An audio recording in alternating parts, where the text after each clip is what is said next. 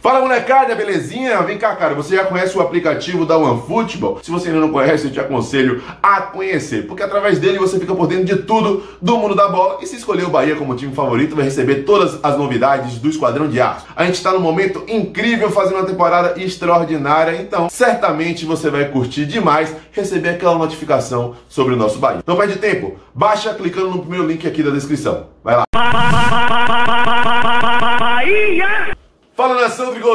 No Sou Mais Bahia, tudo beleza? Barbaço na área, tô aqui para começar mais um vídeo, dessa vez mais um pré-jogo tricolor para poder falar desse confronto entre Bahia e Ceará, que se dará amanhã no estádio metropolitano de Pituaço, às 19h30.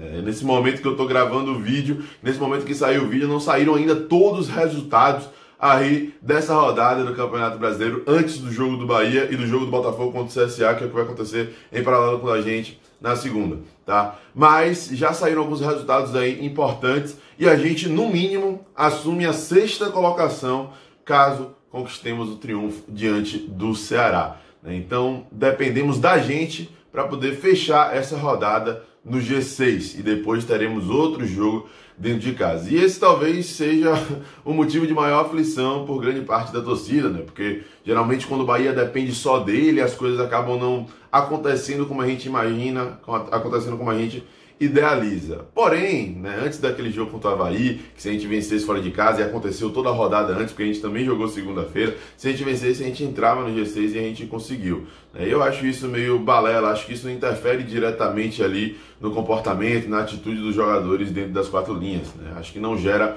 acomodação. O que a gente tem que fazer, o que a gente tem que descobrir é uma maneira de se impor, propor o jogo novamente, retomar essa hegemonia, né, porque os últimos resultados dentro de casa não foram tão bons, principalmente contra times menos qualificados tecnicamente, que provavelmente vêm enfrentar o Bahia com aquele ferrolho montado, aquele ferrolho já típico. Né? E aí o Bahia tem a grande responsabilidade de quebrar linhas. E a gente ainda não encontrou naquela construção ofensiva né, a peça ideal de articulação. Guerra vem jogando ali no meio, mas não vem correspondendo tanto. A gente não encontrou ainda a fórmula secreta para poder não jogar apenas com intensidade, com muita entrega, indo para cima do adversário, mas organizada para construir as jogadas da melhor maneira possível para poder quebrar essas linhas, que geralmente é muito difícil.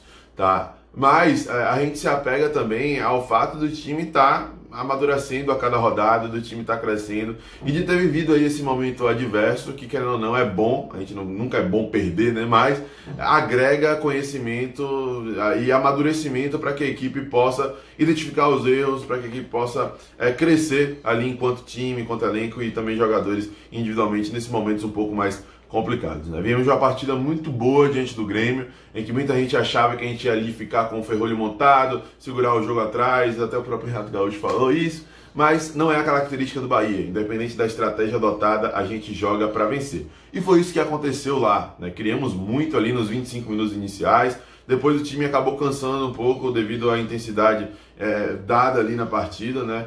Pela entrega da equipe, né, mas depois controlamos o meio-campo né, e conseguimos ser eficientes e pudemos sair de lá com um triunfo importantíssimo por 1 a 0. Tá? Então a esperança que a gente tem no Bahia é que novamente a gente controle o meio-campo, né, que a gente possa fazer com que as linhas deles sejam cada vez mais recuadas para a gente ficar mais perto do gol deles e que a gente fuja um pouco daquilo de ah, roubar a bola no campo de ataque do time adversário para poder estar tá mais próximo do gol e não precisar articular tanto a jogada, mas que a gente possa tocar a bola, ter paciência, que a torcida também compreenda isso daí e, e, e tenha paciência também, é, entenda o processo e a gente possa aos poucos ir ganhando ali os espaços do campo né, e principalmente que a gente seja eficiente. O Bahia vem sendo um time eficiente aí ao longo da temporada, nesse Campeonato Brasileiro da Série A, mas nesses jogos diante de Atlético Paranaense, São Paulo e Fluminense, perdeu gols que não pode perder. Agora, com a confiança retomada, a gente espera que o time possa corresponder e, e não desperdice